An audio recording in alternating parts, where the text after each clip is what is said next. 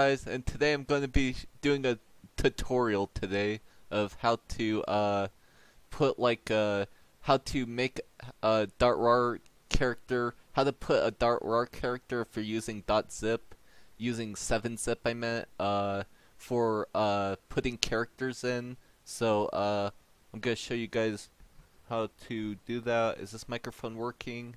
I sure hope it is. Uh, yeah that'd be pretty bad if it wasn't. Uh, Okay, here we go. So I download, let's, let's say for instance, photon.rar, and you're using 7-zip. Okay, so, you click that folder right there. You see, you click the arrow on the top, you click the folder, and then you right click on the character. Okay, go to 7-zip, go to extract files, click OK.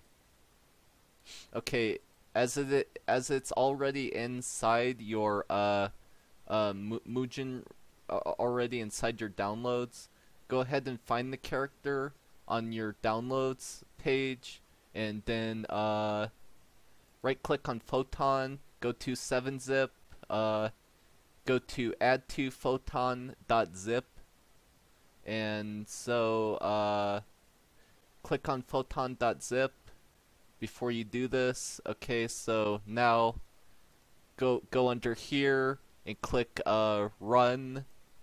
Then uh then then go then press C and then uh on your keyboard and then uh look for the character. Okay, uh, right here it says there's photon.rar. Don't click on photon.rar. Click on photon.zip Okay, once you click that, press OK. Click on OK on the run bar right here. And then, uh, and since this is a .rar character, you have to click on the the the folder again. So here we go.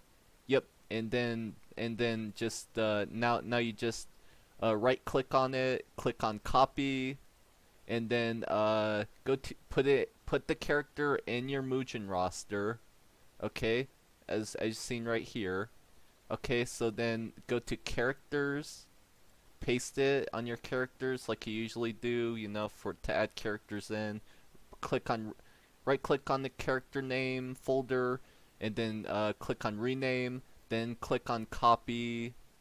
Uh, yeah right click on it again and click on copy. Press the arrow click on data click on select.def go down in the character selection wherever your character selection is and just click on right here then press enter to like put in newer more and more characters in. So that way yeah you can add more and more characters in. And so then uh, paste it on your folder right here. Here we go. Just click paste.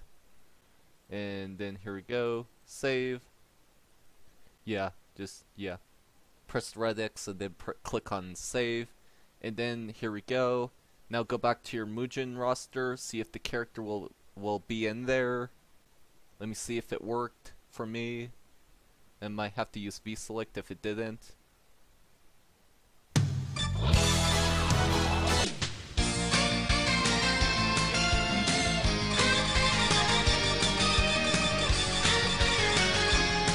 Okay, there we go. It's there. There we go, we got it.